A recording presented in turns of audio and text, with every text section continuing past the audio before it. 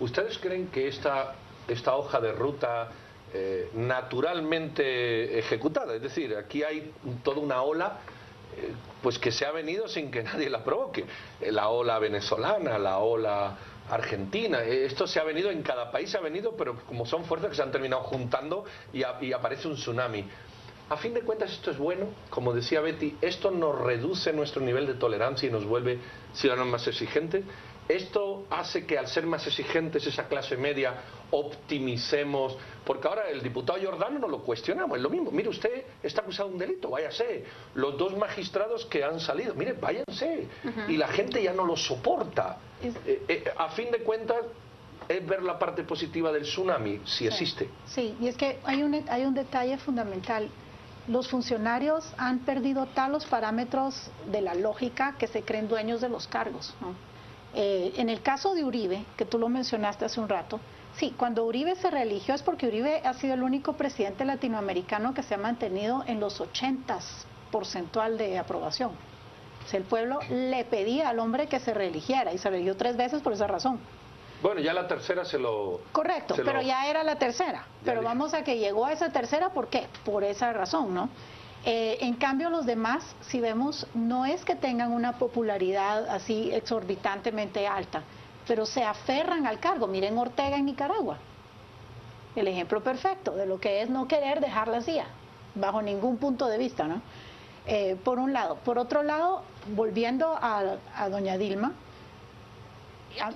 un amigo politólogo venezolano brillante, Luis Carpio, me comentaba hace unos días que eh, él, a él lo que le preocupa, y él está en Caracas, él ve la crisis, él es una víctima del chavismo,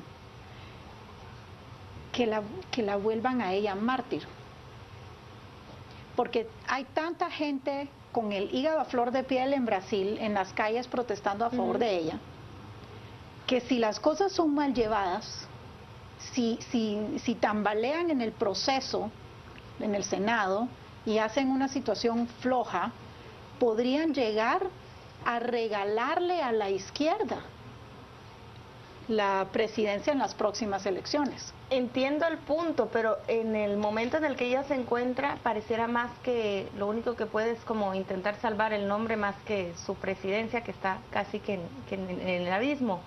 Ahora, ¿qué tanto pueden hablar diputados, senadores, de la moralidad, del buen actuar de ella cuando me toques con las manos sucias. O sea, el presidente de la Cámara señalado de lavado de dinero y un poco como lo del caso que hablaba Pedro hace un rato.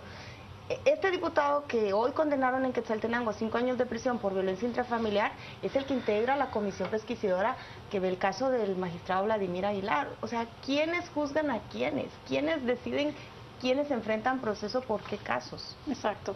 Y es una cosa que normalmente la, hemos mencionado varios en Guatemala. O sea, todos estamos frustrados, sea Guatemala, sea Brasil, sea Argentina y sea donde sea, de tener gente en los cargos que es altamente cuestionable, gente que no tiene, no tiene la, la calidad para juzgar a sus pares, ¿no? Pero la gente que podría ocupar esos cargos y que, y que son personas que están en lo privado hoy día no quieren lanzarse al ruedo político, porque sienten que se van a ensuciar si se lanzan. Y eso es lo que nos tiene en esta crisis en la que estamos. O sea, los buenos no participan, Jake. No, yo creo que al final de cuentas esta es la punta del iceberg y tal vez nos estamos quedando precisamente con lo que se ve, pero a lo que deberíamos de apuntarle y creo que es parte de lo que se está construyendo en el mundo eh, con esta reducción de tolerancia a, casos como el de la corrupción que pues por todos estaba sabido lo que, el Estado era el mejor negocio por lo que se puede hacer y lo, por lo que se puede dejar de hacer con él. Em, es centrarnos en la arquitectura institucional del Estado, en cualquiera de la modalidad que pensemos. Cada una de las sociedades tendrá que hacer su propio pacto social y, enmarcar qué tipo de Estado quiere, qué tipo de instituciones necesita, ¿ya? Y eso no lo podemos hacer con una receta general, es mentira. Cada una de las sociedades lo tendrá que hacer. México hará la suya, Brasil hará la suya, Guatemala tendrá su, propio espacio. Y eso es parte de lo que deberíamos de también de estarnos centrando, en qué, qué vamos a entender por democracia, porque es un concepto que dice todo y no dice nada. ¿Qué vamos a entender por participación política? ¿Será que la participación política es únicamente optar un cargo público? Eh, ¿Qué vamos a entender nosotros por sistema político, todo ese tipo de cosas, esos marcos conceptuales muchas veces se nos quedan vacíos como cascarones porque muchas veces repetimos como periquitos eh, ciertas cosas y, señalamos lo evidente pero nos olvidamos de que hay una arquitectura institucional que facilita las cosas. Y, y, una vez esa arquitectura institucional facilite las cosas, llegará quien llegue de izquierda, derecha, en el centro, para gustos, colores eh, y las cosas no ¿Cae Dilma Rousseff ya para cerrar sus a a mi, mi percepción es que sí cae. Sí, yo también creo. 55 votos en contra de 84, son 84, 81 por ahí. 22 me parece que eran.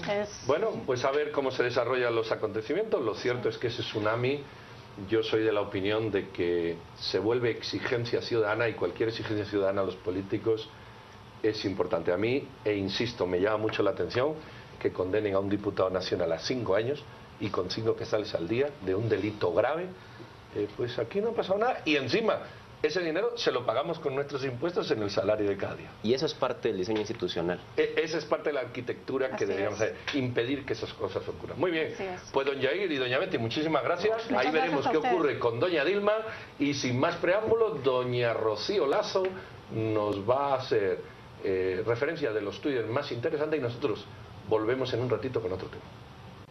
Gracias, buenas noches. Hablamos en este momento sobre el juicio político en contra de la presidenta separada de Brasil, Dilma Rousseff. Nos interesa muchísimo saber su opinión en cuanto a este tema. Es uno de los temas más importantes a nivel internacional. Esperamos sus comentarios a través de nuestras redes sociales.